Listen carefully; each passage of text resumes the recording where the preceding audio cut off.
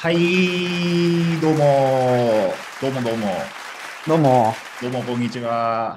えーはい、あの、ケムステーション、あの、第16回シンポジウム、えーマテリアルインフォマティクス、えー何それ美味しいの？の、はい、時間になりました。えっと、私、えっと、ファシリテーター務めてままいります、えー大阪大学の、えー講師の石割です。同じくファシリテーター務めさせていただきます。埼玉大学の古川です。よろしくお願いいたします。よろしくお願いします。で、古川さん、はい。なんすか、この衣装、これ。これはどういうことですか？完全に出落ちだね。これは、言われるままに、あの、アマゾンの URL が送られてきて、言われるままに、あの、ポチらせられたんですけど、これ。いやいや、変これね、ほら、マテリアルズ・インフォマティクスって、まあ、よく聞聞くけど、うん。まあ、正直よくわからんと。わかんないですね。わかんないですね。難しいですね。だから、ちょうん僕たちも初心に帰ってね、まあ、これ初心の証ですよ。はい。いや、そうですね。はい。こう、青青が太郎ちゃんで、えっと、ピンクは花子さんです。花子ちゃんです。まあ、だけど、はいこれ、保育園ですよね、これね。まあ、未就学児だっていう。もう絶賛未就学児なん、絶賛まあ未就学児なんですけども、まああのまあ、成長の速度はね、一番速いということで、まあ、そういう、まあ、初心に帰って、まああのまあ、やっていきたいという、そういう表れですよね。はい。はい。まあ、ちょっと、あのーまあ、説明もちょっとこの衣装でやっていくんですけれども、まあ、ケムステーションについてなんですけれども、えっと、まあ、あの、設立21年目の、あの、すごく、あの、日本で一番大きな、えっと、科学のポータルサイトということで、えっと、まあ、いろんな、あの、各省も、えっと、山口純一郎先生が代表で、歴史もありますし、あとは、あの、認知度もありますし、すごく、もうあのプレスリリースするくらいであったら、ケムステーションにあの載せるみたいな、あのそういう科学としては、そういうもう立ち位置になってるんじゃないかなというふうにえ思いますね。はい。まあ、その、えーケムステーションが運営する V シンポジウムであるということです。はい。で、えっと、まあ、兆候にあたっての、えー注意、お願いなんですけれども、まあ、あの、これはですね、えっと、Zoom ベースで、えっと、YouTube に、えっと、送信して、えーやっていますので、えっと、チャット欄に書き込んだとしても、あの、ちょっと、えっと、ラグがありますので、まあ、そこは気をつけてください。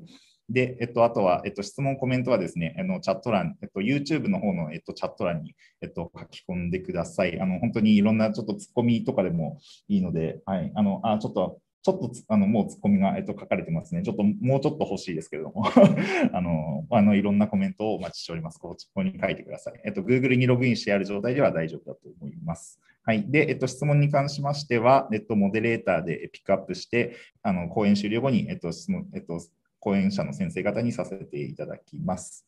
はい。で、えっと、まあ、著作権などの関係もありますので、えっと、録画などは、えっと、しないでいただきたいです。よろしくお願いします。まあ、最後、これ、あの、1年間書き続けた、まだまだ試行錯誤中のイベントで、あの、行き届かないところがあるっていうところなんですけども、やっぱりどうしてもちょっと毎回ですね、あの、私、これで V 進歩3回目なんですけども、この衣装っていうの、これどうしたらいいのかちょっと分からずに、あの、前回は、あの、著作権の関係で全、石割全カットというような あの、そういう形になってしまいましたので、まあ、ちょっとまだいた、今回はあの著作権をあの気をつけて、えっと、頑張りました。まだまだちょっと至らぬところはあると思いますけれども、あのご了承ください。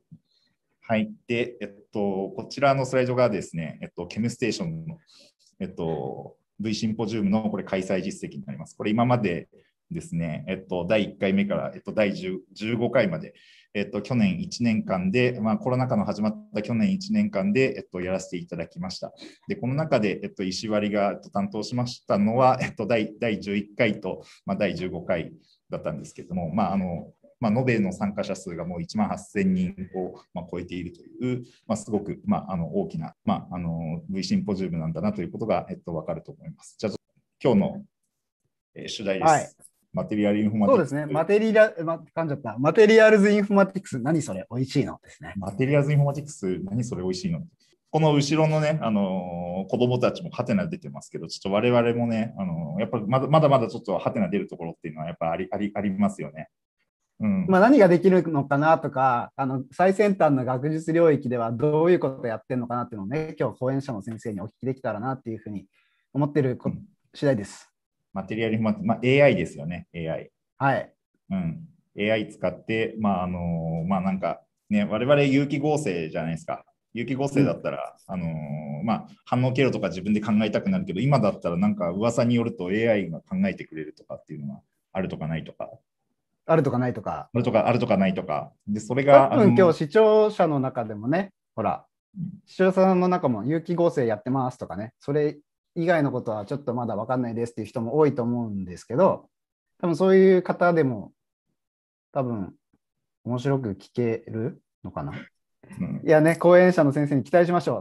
おはい三方いますからね。我々我々はね、ちょっとこんな状況ですけれども、さあ、我々どんあの、講演が終わったとき、どのくらいマテリアルインフォマティクスが、まあ、分かるようになっているのかというところも、まあ、一つ見どころという 我々、我々のあのどのくらい成長できるのかというところも、まあ、見どころですという ことですね。はい。じゃあ、はい。